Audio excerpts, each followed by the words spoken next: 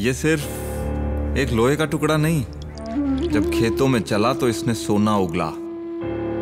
जब कंधे पे रखा तो स्वाभिमान बन गया। इस लोहे के टुकड़े से कमाया एक ज़मीन का टुकड़ा। एक ज़मीन के टुकड़े से खेत के खेत, खेतों से कमाई, इज़्ज़त। लेकिन मैंने कभी ना सोचा था कि एक दिन ये पूरे गाँव को ही नहीं पूरे देश को जोड़ेगा।